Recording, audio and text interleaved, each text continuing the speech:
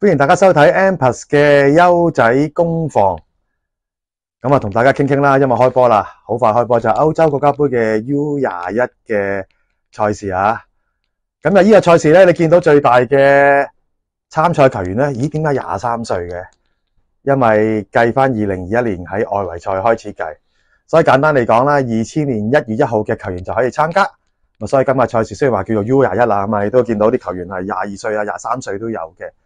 咁講開啦，就咁多隊嘅大軍名單當中啦，我亦都睇過晒啦。但係去到尾啦，真係要打過先知，特別係啲年青球員嘅賽事啦，普遍認為即係邊隊能夠比較打法成熟啲啊，流放得好啲。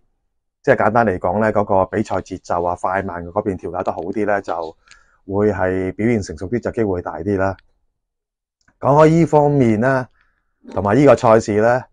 始終都好難就誒離唔開噶啦，就係大家都會熟悉啲啦，同埋比較係誒會注視啲嘅球隊就係英格蘭嘅 U 廿一。睇翻佢今屆嘅名單咧，我噏啲名字咧，大家如果係球迷都會有誒好深嘅印象，都會識噶啦。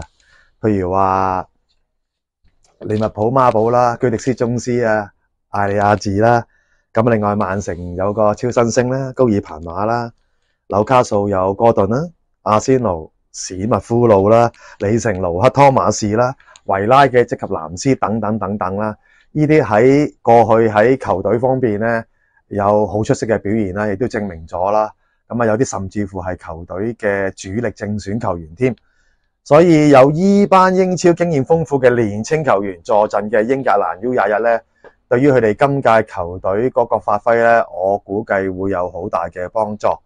純粹賽前估人誒，賽前啦，即係開波前嘅個人估計，英格蘭亦都誒好順理成章，成為今次賽事嘅熱門球隊之一。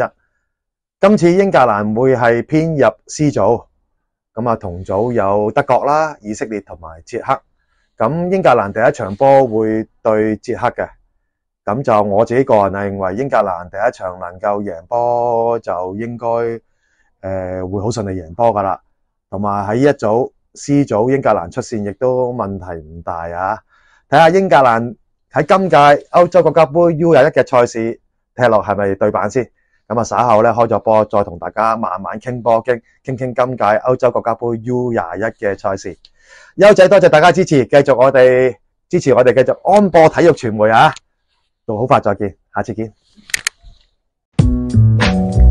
想緊貼住最新嘅足球籃球資訊，記住訂閱我哋 Ampas 安播嘅頻道啦。